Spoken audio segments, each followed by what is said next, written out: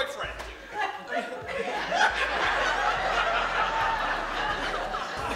oh. Oh. Oh, man, I knew that.